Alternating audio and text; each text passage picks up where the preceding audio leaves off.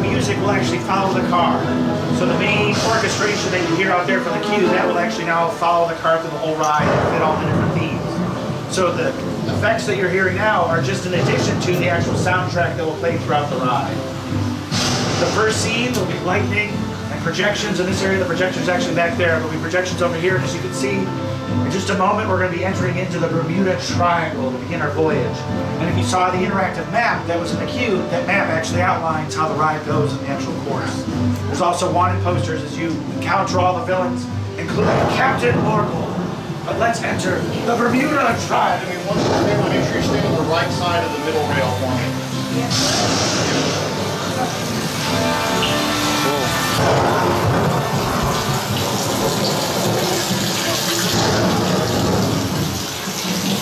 scene.